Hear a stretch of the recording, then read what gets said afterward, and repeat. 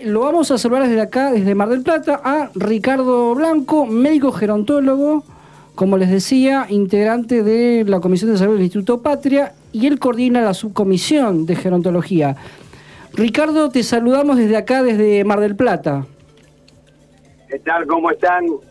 Muchas gracias por el llamado. No, por favor, te agradecemos a vos por la comunicación. Comentarte que eh, decíamos, ¿no? Un sector muy vapuleado por el neoliberalismo. Y contanos qué, qué balance haces vos de, de estos casi ya cuatro años de políticas sanitarias y otras para las personas mayores en la Argentina. Bueno, eh, digamos, acá habría dos ítems para tocar. Uno, la situación actual de las personas mayores, que es muy compleja. Y el otro, cuál es la propuesta del plan gerontológico argentino que planteamos nosotros y que realizamos en el Frente Ciudadano por la Salud, en el Instituto Patria, en la subcomisión de gerontología. La situación actual es absolutamente compleja y muy dura para las personas mayores. Es fundamentalmente económico, pero que tiene su replicación sobre lo político y lo social. Eh, sabemos que su fin es enriquecer más a los ricos y que el pueblo se empobrezca más eh, y, de esa manera lo tienen a su servicio todo el tiempo. Dentro de ese grupo del pueblo empobrecido hay algunos sectores que son este, más vulnerables, digamos, como son los niños, los discapacitados y por supuesto las personas mayores, a las cuales se las invisibiliza, se las margina, este, se las desconoce, empiezan a tener severos problemas para su calidad de vida. Eh, por supuesto que empiezan a deteriorarse lentamente, quizás ahora mucho más intensamente, por varias causas. La salud es una de las causas que se ha deteriorado mucho en todo el pueblo, pero fundamentalmente en este, en este grupo etario, donde este, nosotros sabemos y pensamos siempre que la salud es un derecho de las personas. Por lo tanto, debe ser una política de Estado y no un negocio. Y todo el pueblo tiene derecho a la salud, a la educación. Eh, son, son valores fundamentales que el Estado tiene que tener en cuenta. Y las personas tienen un deterioro importante, las personas mayores de la salud, porque no están bien atendidas, porque se les da poca importancia. Esto ha sido bastante tradicional siempre, por lo general. Eh, yo siempre digo que hay, hay, la sociedad tiene un rechazo por la persona vieja, no por maldad. Hay un rechazo inconsciente que en realidad lo que pasa es que tienen rechazo a su propia vejez. Entonces se ven en un espejo de lo que van a hacer y mucho no les gusta a nadie. Bueno, porque además se asocia este vejez con, con, con la muerte, bueno, cosas que mm. necesita poco eh, por ese lado. Por otro lado, aparte de la mala atención, la incapacidad por, por, trastornos económicos, porque no cobran una jubilación ni digna ni suficiente, entonces no pueden comprar los medicamentos. Ese es otro lo que Y hay algunos temas que están más ocultos, que se ven menos, pero que son tan graves como los que nombré. Por ejemplo, las consecuencias en la salud de la alimentación, la mala alimentación, de lo que se llama la desnutrición. ¿Qué pasa con algunas personas? Unas personas mucha cantidad, por supuesto, suele haber de diabéticos, que no pueden comprar otra cosa más que fideos, arroz, y por supuesto eso le deteriora más su patología. Y hay una que es muy grave, es muy grave, que es que no pueden comprar proteínas de alto valor biológico. ¿Cuáles son? Las carnes, la leche, los huevos, esas son proteínas de alto valor biológico. Son fundamentales para la especie humana, pero fundamentales. Entonces, al no tener eso aparece una enfermedad que se llama sarcopenia. La sarcopenia, eh, sarco quiere decir músculo, penia, disminución. Disminuye la masa muscular por falta de proteína. Entonces estas personas que salían hacia las compras, paseaban, iban a la casa de sus hijos, viajaban, un día no se pueden mover más que por el barrio, al poco tiempo no salen de la casa, al poco tiempo no salen de la habitación y al tiempito no salen de la cama y después se mueren. Y esto es así crudo como se les estoy contando. empieza a tener severos trastornos en la marcha, no pueden caminar, no se puede movilizar, no pueden levantar las cosas, porque no solo son los músculos de los miembros inferiores, sino de los miembros superiores. Todo este deterioro que se produce, además le sumamos un PAMI funcional, un PAMI totalmente desastroso, conducido por una persona como es Casinotti, que no tiene la más pálida idea de lo que es una persona mayor, es un politólogo, no tiene ni idea de lo que tiene que hacer, eh, compran los medicamentos en farmacéutico o en algunas otras, en vez de comprar en los laboratorios nacionales. Los laboratorios nacionales no me estoy refiriendo a laboratorios privados nacionales, me estoy refiriendo a los laboratorios del Estado, que son 39 laboratorios en 17 provincias y en Capital Federal. ¿Y por qué los compran ahí? Y porque los laboratorios del Estado no están funcionando, porque desde el año 2016 el jefe de gabinete les tiene que pasar la cantidad de dinero para que funcione y hasta ahora no se las pasó. Por lo tanto, no hay medicamentos baratos porque los fabrican los propios laboratorios del Estado con muy buena calidad y eso no se produce. O sea, eso sumado a, mm. A que a partir de fines de, del 17, en diciembre de 2017, cuando se cambia la ley de actualización de la jubilación, este, las personas empezaron a ganar ya un 20% de su jubilación. ¿No es cierto? Y yo digo ganar, ¿no? Para que te dice cobrar una jubilación. Yo digo ganar, porque la jubilación, ¿no es cierto? No es una dádiva que dan los gobiernos. La jubilación es un derecho que tienen las personas porque es un salario diferido que han ido juntando durante todos los años que trabajaron. Por lo tanto, es algo que están ganando con su trabajo previo. Bueno, entonces empiezan a tener serios problemas, pues tiene un 20% menos, pero la cosa se agrava, porque eso fue para los que estaban jubilados antes del 2017. Ahora, para los que se jubilan, como jubilaron después del 2017 y los que se jubilan ahora, va a ser peor todavía, porque antes era el RIPTE, o sea, la remuneración imponible promedio de los trabajadores estables, que nadie sabe muy bien qué quiere decir, cierto? Es una palabrita que ponen como suele poner este gobierno y sacan un número que tampoco nadie sabe de dónde sale. Bueno, el RIPTE más la inflación, ¿no es cierto? Eso los que ya estaban jubilados. Los nuevos jubilados lamentablemente van a tener solo el RIPTE, que como no sabemos lo que es, le van a dar lo que se les ocurra. Y eso va a, va a bajar un 20% más.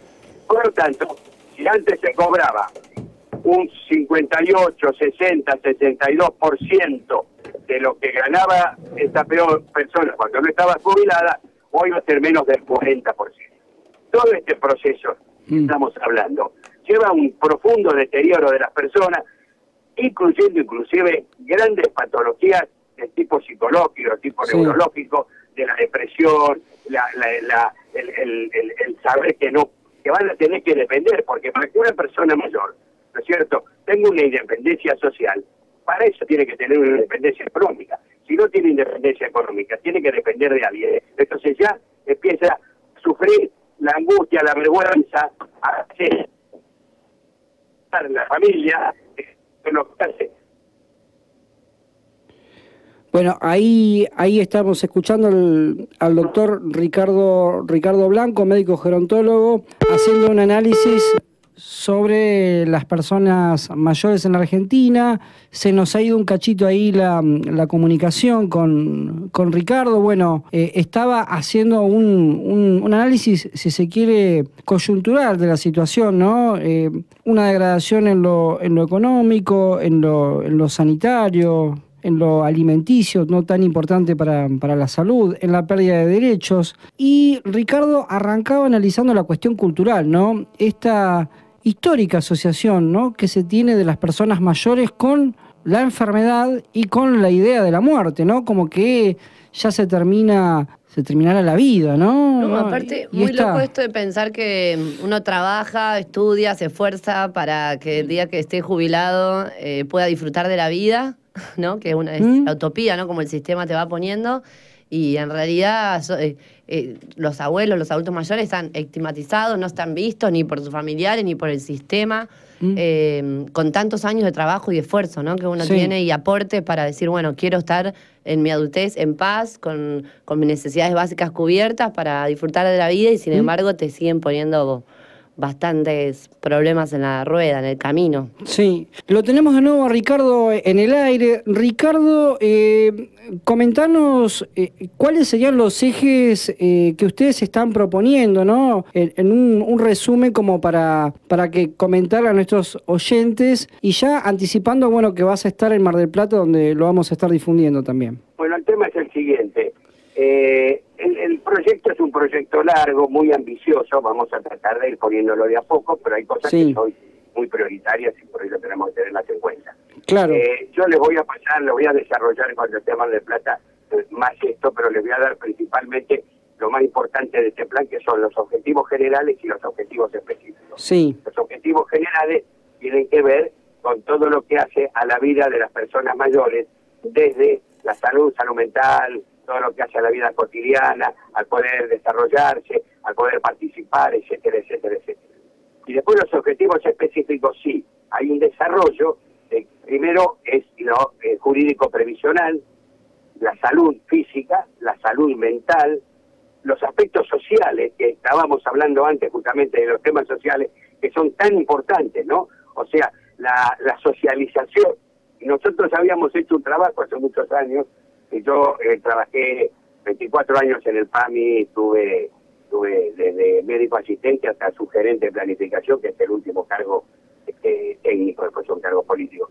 Pero nosotros trabajábamos teniendo en cuenta una ley que decía que las, los, las instituciones este, de fútbol, los, los equipos de fútbol en sus canchas, tenían obligación de cuando no usaban sus instalaciones dárselas a instituciones sin fines de lucro. Entonces hacíamos trabajo, ¿no? teníamos un, un profesor de educación física que había hecho una especialidad en gerontología dentro de la actividad física, un tipo brillante, macanudo, está trabajando ahora conmigo en la, en la subcomisión de gerontología, donde este, la gente hacía, pongámosle aguachín, o, o gimnasia o algo así, hasta el mediodía, el mediodía almorzaban y después hacían distintos juegos. Sí. Ni el acuachín, ni la gimnasia, ni, ni los juegos eran lo importante. Lo importante era la socialización de esta gente empezaba a tener otros amigos, a juntarse, a pensar, a tener un proyecto. Digamos, eh, yo, nosotros tenemos un, dicho que es muy importante y es, no se dejan de tener proyectos cuando se envejece, se envejece cuando se, se dejan de tener proyectos. Y esta mm. gente empezó a tener proyectos. A fin de año lo teníamos, pero empezamos a filmar el acto que hicimos y toda esta gente decía, bueno, me saqué una mochila de encima, mis hijos no me reconocen, hablé con mi médico y tiré la mitad de los medicamentos. O mm. sea, habían mejorado tanto su calidad de vida que había mejorado mucho su salud. Y esto es fundamental. Entonces, la parte social también es fundamental. Después está la parte del hábitat y la infraestructura edilicia, que tiene que ver con las barreras arquitectónicas que hay, que ya no las llamamos más barreras arquitectónicas, las, llamamos barreras discriminadoras, porque ya todo el mundo sabe dónde tiene que poner rampa, donde hay escaleras que no se pueden subir y tiene que poner algunas rampas o ascensores, donde las calles tienen que estar reparadas porque si no una persona mayor puede tropezarse, caerse y fracturarse. Todo eso eh, ya se sabe cómo tiene que ser. Si no lo hacen es porque no lo quieren hacer, como pasa en los grandes restaurantes o en los grandes lugares de, de, diversión o, de, o, para hacer alguna actividad, donde ponen baños con escaleras caracol hacia arriba y hacia abajo para ir a los baños.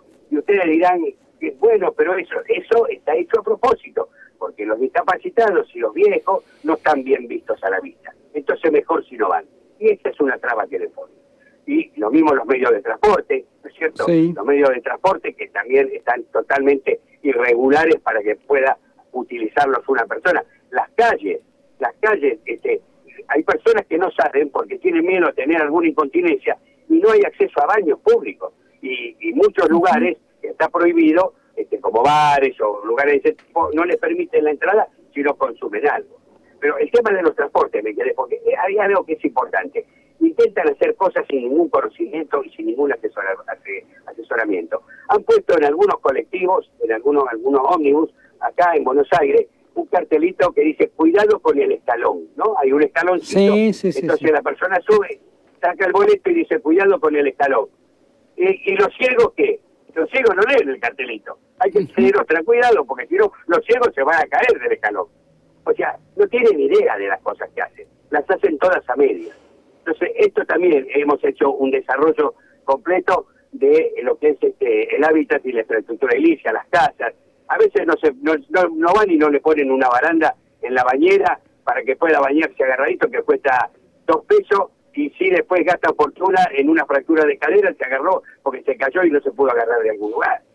Este, estas cosas insólitas que hacemos acá en la Argentina muchas veces, que por, por eh, este, ahorrar 20 pesos gastamos 2.000 después. Un absurdo, ¿no es cierto? Bueno, esto es lo que está haciendo en este momento. El PAMI que no lo hacía, hay que reconocerlo.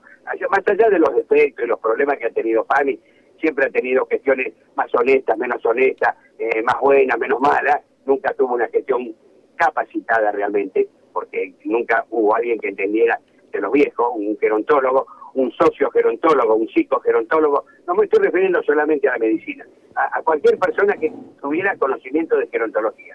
Esto no pasó nunca, así que hasta las mejores intenciones no, no, no funcionaba bien, porque si nosotros tenemos una gestión corrupta, el que se va a perjudicar es el beneficiario. Ahora, si nosotros tenemos una gestión muy honesta, pero no sabe lo que tiene que hacer, el resultado es el mismo. Estamos en la misma. Entonces, el hábitat y la infraestructura es importante. Después está la educación eh, y capacitación, que haya lugares para donde puedan estudiar las personas mayores, capacitarse, o bien donde puedan ser docentes las personas mayores, ¿verdad? Después está la recreación y el tiempo libre, que también es un tema que hablamos. Y el último es participación, que participen en todas las, este, las actividades de la vida de la sociedad, que puedan participar y que puedan opinar y que participen en este plan gerontológico que estamos haciendo, también dando su opinión. Me parece que esto es lo más importante. Ricardo, te vamos a agradecer por la comunicación y bueno, ahí más adelante vamos a estar en contacto porque ya anunciamos acá en Sanos de la Azotea, en la radio comunitaria de Mar del Plata de la Azotea, que vas a estar acá en Mar del Plata en una, mesa de debate que todavía no tenemos la fecha confirmada, pero para fines de octubre va vas a estar acá y bueno, va a ser una oportunidad para poder seguir expandiendo esta propuesta de política sanitaria con este enfoque, ¿no? Eh, con una mirada bien integral desde lo gerontológico. Así que gracias. Yo, yo tengo un, un power que les quiero pasar cuando vaya, que tiene que ver con esto que hablé, con el desarrollo, que puede durar no mucho tiempo, 45 minutos, una hora lo sumo, pero explicándoles bien en detalle estas cosas, para que ustedes vean cuál es el proyecto para hacer y para que después lo discutan, nos digan estamos de acuerdo, no estamos de acuerdo, tírenlo a la basura, lo que a usted le parezca. Bien, gracias Ricardo, un gran abrazo. Bueno, un gran abrazo a ustedes y gracias por llamarme. ¿eh? Hasta luego. Bueno, hasta aquí pasó el doctor Ricardo Blanco haciendo un análisis de las personas mayores en sanos de la azotea. Hugo Spinelli, pediatra y sanitarista. La trampa que tenemos es que cuando nosotros decimos salud ya estamos pensando de enfermedad, estamos pensando en la cuestión médica. Y la salud no tiene nada que ver con la medicina. La salud tiene que ver con transporte, con la arquitectura, con el trabajo, con el medio ambiente, con la calidad del aire que respiramos, de los alimentos que comemos. Ahí está el, el concepto de salud. Tiene mucho que ver entonces con una sociedad, cómo se articula, cuáles los niveles de colaboración, de desigualdad que acepta o no acepta. Es decir, fundamentalmente ahí sí yo puedo hablar de salud. Si no, me, me, meto dentro del sector, lo que se llama mal llamado sector salud, que es el campo biomédico, ahí generalmente lo que domina es una, una acción reparadora de la enfermedad. Pero lo que nos mantiene sanos mentalmente o físicamente son las otras dimensiones de la sociedad. Y en la medida que tengamos una sociedad que se articule, que se preocupe por el otro, que eleve conceptos de solidaridad, vamos a tener una sociedad sana. Para volver a pensar y sentir la salud, sanos de la azotea. Para llegar a la azotea, no necesitas ni escaleras ni ascensores. Solo tenés que sintonizar de la azotea. 88.7, los lunes de 19 a 20 horas.